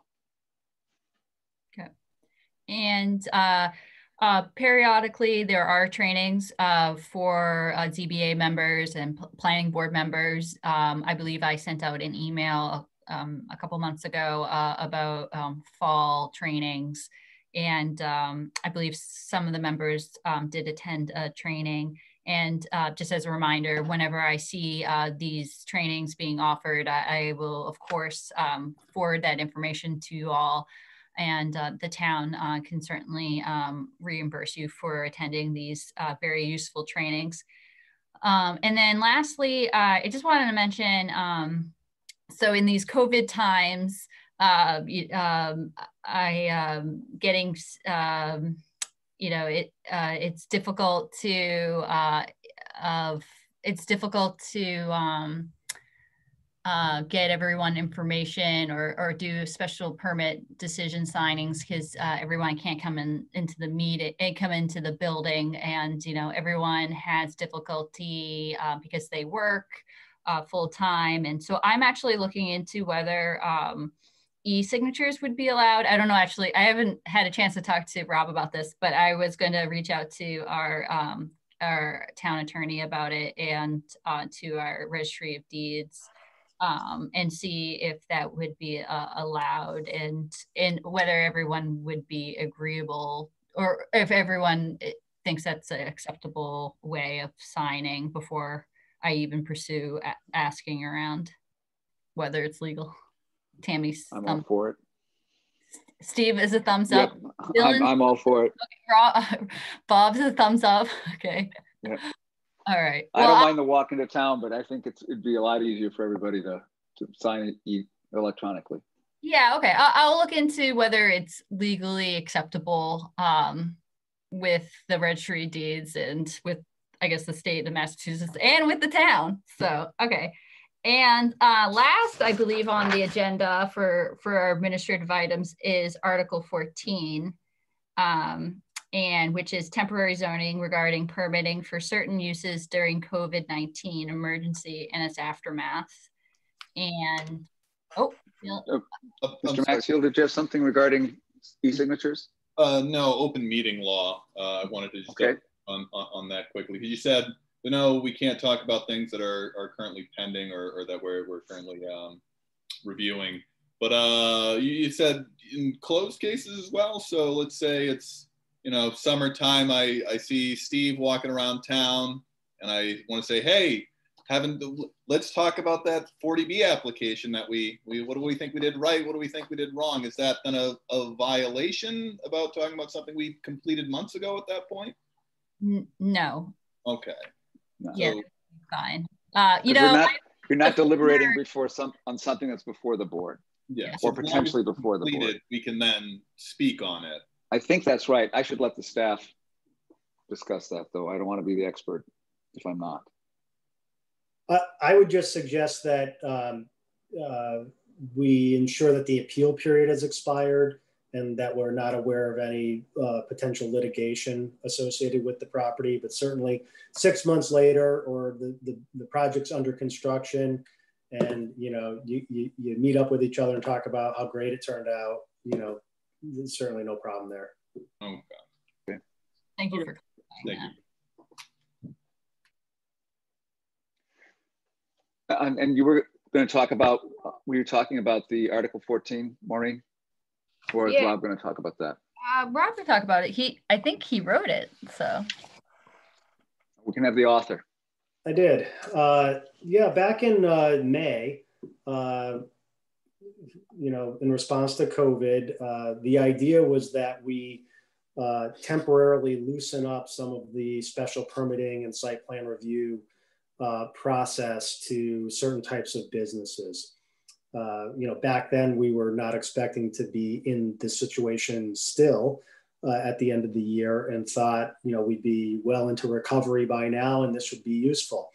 Uh, you know, right after we uh, proposed this to the council and had their support, the governor issued an order that, you know, essentially said, notwithstanding any zoning regulation, outdoor dining can, you know, proceed under these certain conditions. So um, again, didn't really get a whole lot of use because the governor's order um, permitted uh, us to uh, allow the outdoor dining to happen. So um, we did have a few cases though throughout the summer where Article 14 was really useful. It uh, it, it, did permit uh, expansion of outdoor dining areas that are more of a permanent construction, not just set up out in the road or on the sidewalk. Uh, we actually had a hair salon set up outdoor services in individual one, you know, single service tents uh, and uh, water supply set up outdoors. Uh, so we start to, we, we did see it, it, be used a couple of times. And as it was uh, originally uh, adopted, it was, it had a six month duration. So as that was coming to an end in, in the beginning of December, uh, we went back to the board last uh, to the council last month and asked to extend it entirely through 2021 and we expanded it quite a bit. Uh, so we we did identify the difference between a, a, permanent use and a temporary use. And we got a lot of requests for temporary uses. That would you know a tent at uh, the survival center or a church or the schools uh, and we expect that we'll probably have the same requests again in the spring.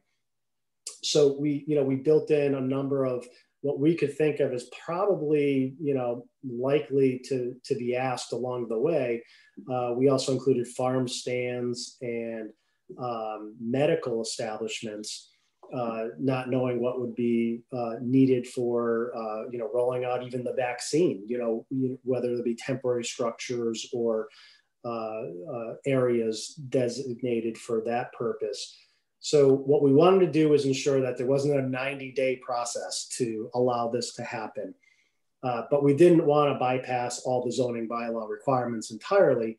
So essentially what happens is uh, I conduct a review with other staff uh, and in, in, in the hopes of issuing an administrative approval that satisfies the special permit requirement, does not require the applicant come, to come in front of the board, but I am responsible to ensure that the 10.38 findings are applied properly.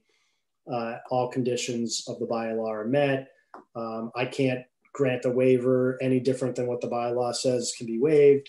Uh, there's still no variances and things like that. So um, the bylaw itself doesn't change except for the, the approval process. So uh, restaurants are definitely one uh, that's in this category and most likely to be used. Uh, uh retail establishments and likely medical facilities.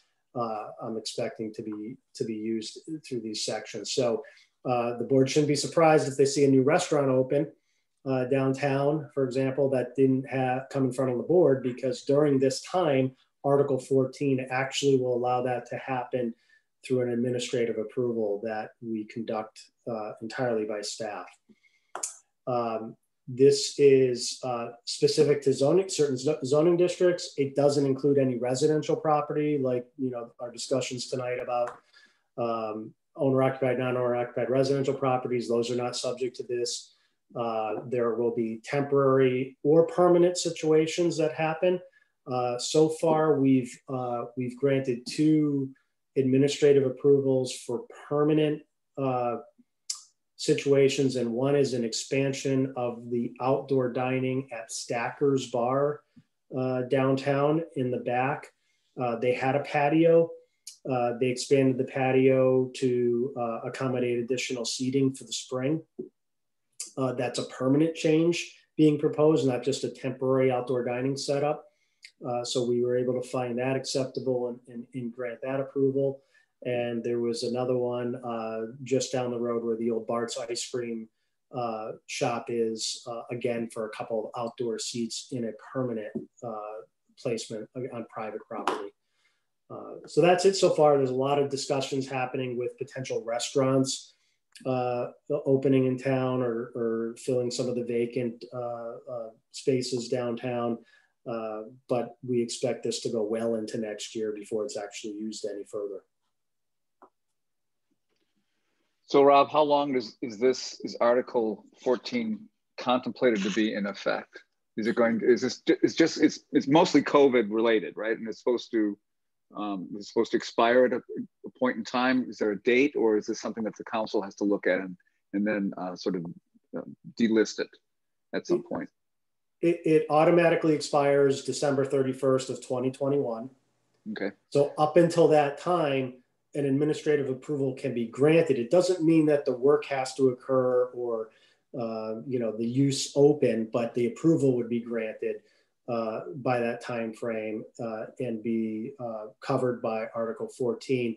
Uh, the decisions are recorded with the town clerk's office, and you know are are just as real as a special permit would have been, mm-hmm. and in the future will be you know viewed as a legitimate uh, even if the even if that same establishment has to come back to the zoning board five years from now to alter or expand, it would be an alter alteration or expansion of that administrative approval uh, that was that was granted during this time. Uh, so yeah, next all of next year, uh, and and then I would imagine September, October of 21, the council will decide if there's any need to extend it or just let it expire and go back to whatever our new bylaw might say. Mr. Barrick. Oh, uh, we, we can't hear you. There you go. Right. Uh, sorry, I was muted. Uh, th these changes all, all, seem like a very good idea.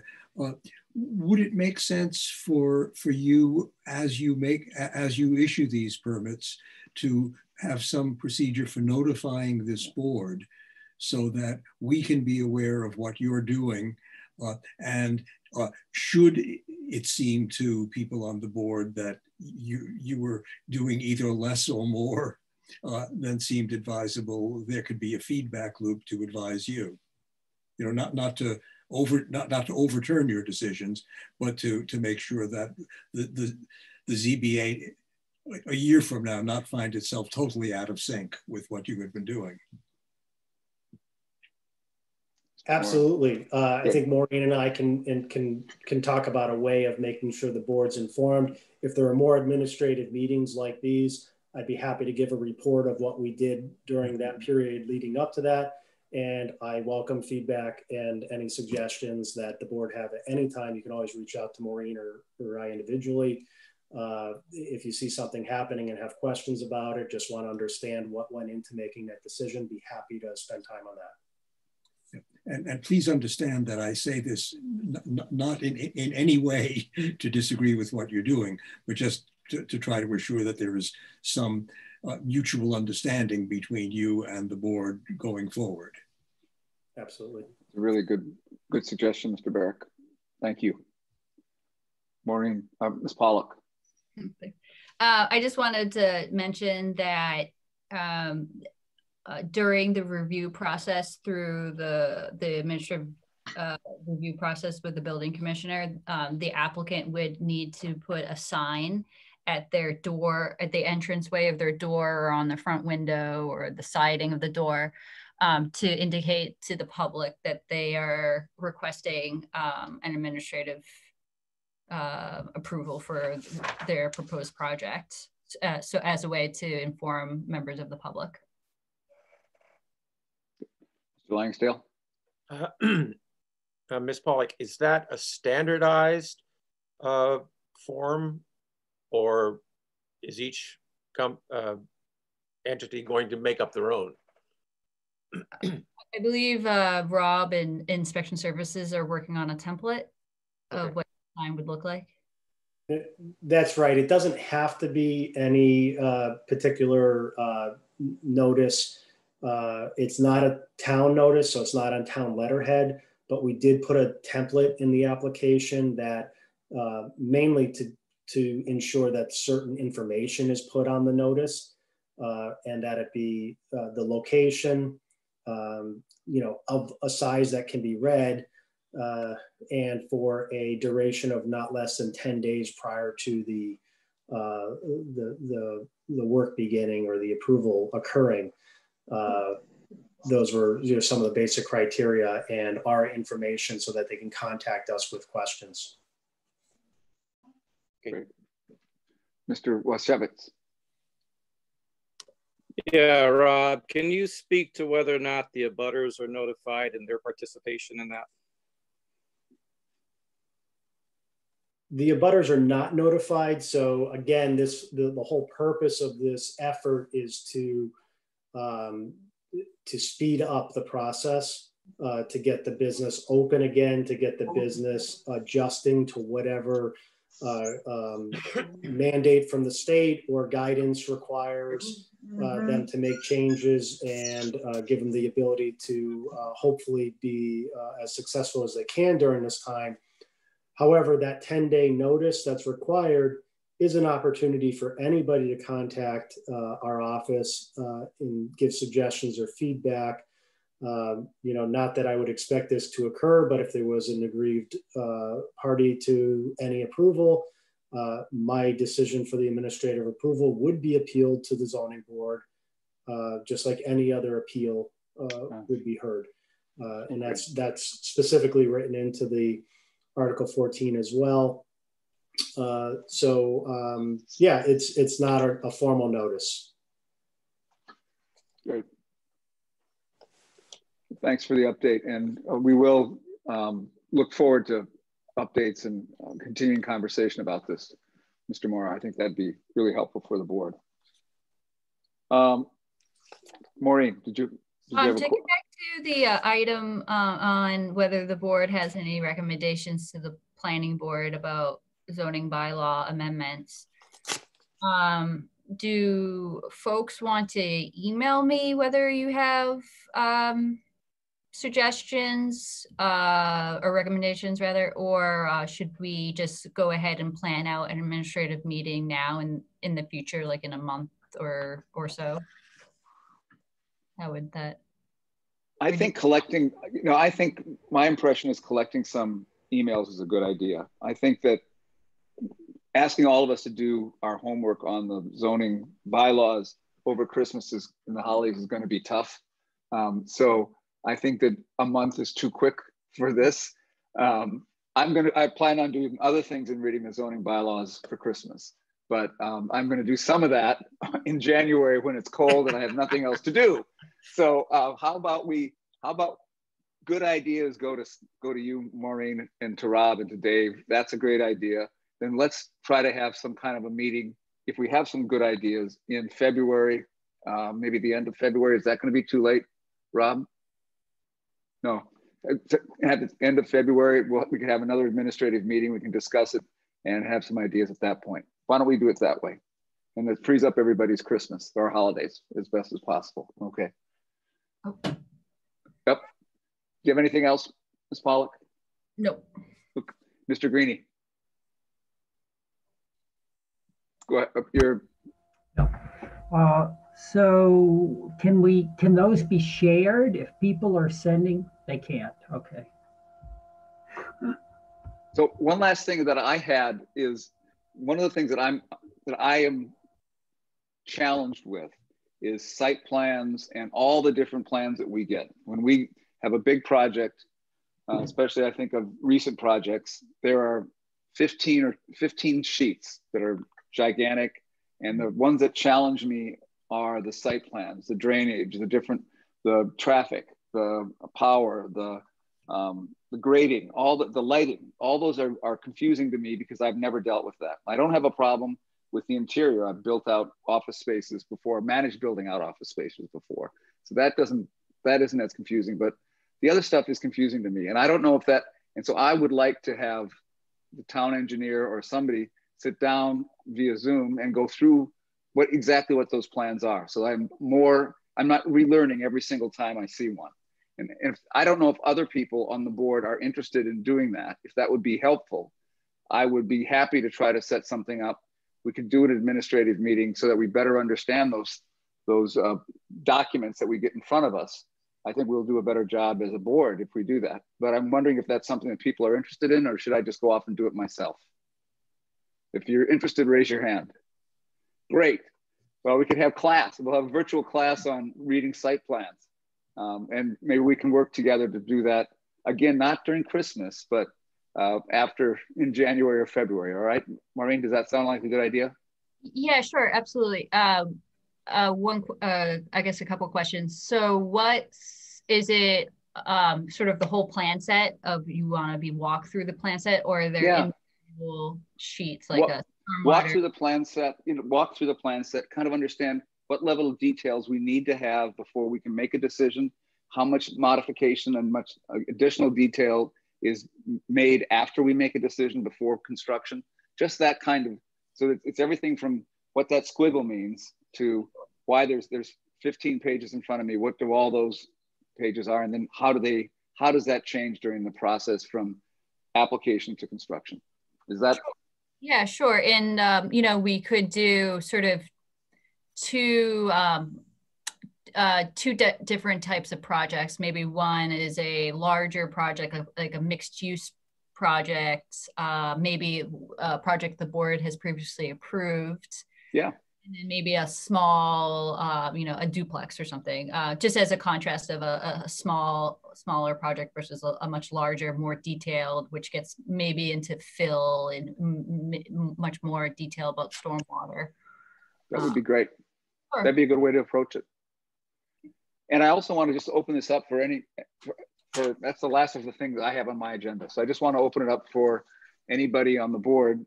Um, if they have a comment, a suggestion, a question, um, or something that they'd like to get off their chest, uh, even uh, this is a good time to do that. And just remember, we have a public meeting, so um, this is this is this is being recorded, but um, this is an opportunity for any discussion on on anything. Ms. Parks. So I'm just wondering if when we bring these uh, items up to the planning board, if we can bring up some of the items um, that are not real clear. Like, um, you know, what does it mean to say substantially more detrimental to, to a neighborhood?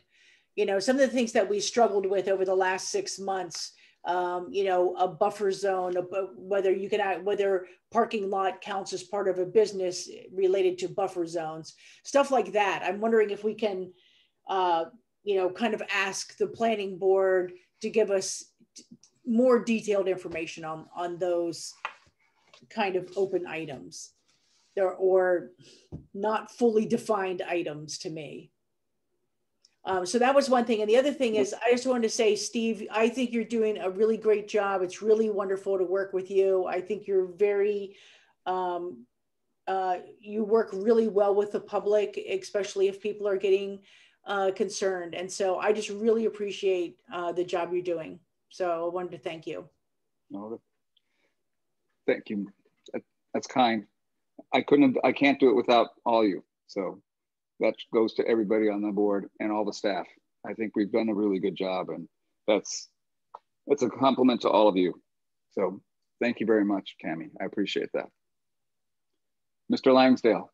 Um, I'd like to echo her uh, words about you. I think you're doing a marvelous job, and uh, it's very you have very strong but uh, contemplative leadership.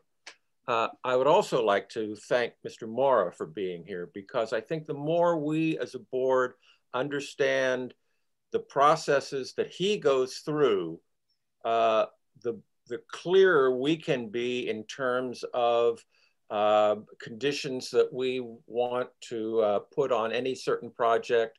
Uh, and the more we understand the, um, uh, I don't know, problems, uh, limitations that he has to deal with, I think also uh, enhances what we're able to do uh, on the board with each application. So thank you. I echo that. Great. Um, Ms. Parks. Just really quick, I also want to say big thank you to Maureen for always being really wonderful and getting everything to us. And, you know, thank you so much for your support. Really appreciate you. Here, here. Here, here. You're here. Yep. All right, well, that settles, that's, I think that's everything for the agenda tonight. Um, unless there's anything else that anybody wants to say. Oh, one more thing. All right, Maureen. Um, uh, We do uh, have the uh, general public comment period. That's correct. Um, but we're done with the, the comment from the board. Yep, the administrative stuff. We have one last thing is the general comment period for any matter not before the board tonight. Um, and if there's anybody from the public who wishes to make a comment, this is the time to do it.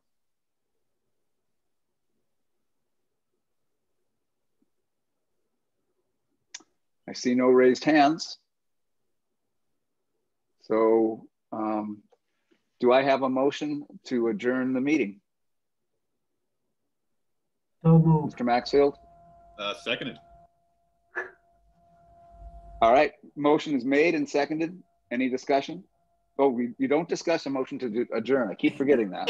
So you- That's the reason you, that's the reason you, you do this. So there is no discussion on that. It's a roll call vote. I vote aye. Ms. O'M- O'Meara? Uh, Sounds like Miss O'Meara's dog is voting aye. Miss, Miss Parks, Aye. Mr. Maxfield, Aye. Mr. Greeny, Aye. Miss O'Meara. Aye. All right. Have a good night, everybody. Motion carries. It's unanimous. Um, have a good night. Have a good holiday season if I